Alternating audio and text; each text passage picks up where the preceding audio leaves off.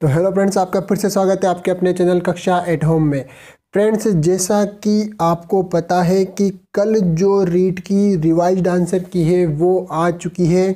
उसमें किस किस क्वेश्चंस पर आपको अलग से बोनस दिया गया है मतलब जो पहले आंसर की जारी करी थी बोर्ड ने उसमें जिस क्वेश्चन पर बोनस दिया गया था और जिस क्वेश्चन में एक से ज़्यादा ऑप्शन को सही माना गया था, अभी भी सेम आंसर की है फ्रेंड्स कुछ एक या दो क्वेश्चंस को छोड़कर। जैसा कि ये जो न्यूज़ पेपर की कटिंग है फ्रेंड्स जिसमें लिखा हुआ है कि लेवल टू का संशोधित रिज़ल्ट आएगा छः प्रश्नों पर बोनस अंक और सात प्रश्नों के दो दो उत्तर सही है। इस पर सात लाख अभ्यर्थियों पर असर पड़ने वाला है। तो आप इसमें जो ये क्वेश्चंस दे रखे हैं फ्रेंड्स, इसमें इसको सही तरीके से अगर आप देखोगे तो आपको अभी इसमें लग रहा होगा कि ये चार क्वेश्चंस पर,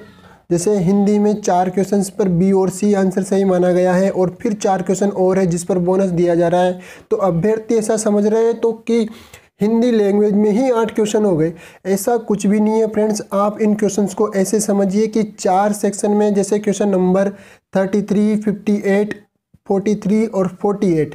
इन ये एक ही क्वेश्चन है जो अलग अलग सीरीज़ में है और ये एक ही क्वेश्चन नंबर बी और सी आंसर माना गया है और उसके अलावा हिंदी में दूसरा क्वेश्चन भी एक ही है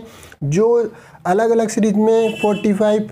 sorry fifty five forty nine thirty four और थर्टी नाइन नंबर का क्वेश्चन है, जिसमें ही बोनस दिया गया है, जो 2018 वाला क्वेश्चन था फ्रेंड्स इसी तरीके से आप इन सारी सब्जेक्ट में देख सकते हो कि अंग्रेज़ी में ये जो चार क्वेश्चन है, ये मतलब ये एक ही क्वेश्चन है, ठीक है? उसके बाद में संस्कृत में, पंजाबी में आप ज़्यादातर देख पा रहे होंगे कि इंग्लिश लैंग्वेज सेकंड में ही ज़्यादा करेक्शन आपको देखने को मिलेगा। तो आप जो यहाँ पर इतने सारे ये क्वेश्चन सामने देख रहे हो फ्रेंड्स तो उससे सबको ऐसा लग रहा है कि जो बोनस है वो छः प्रश्नों पर दिया गया है और सात प्रश्नों के दो दो उत्तर सही माने गए हैं। तो फ्रेंड्स ये एक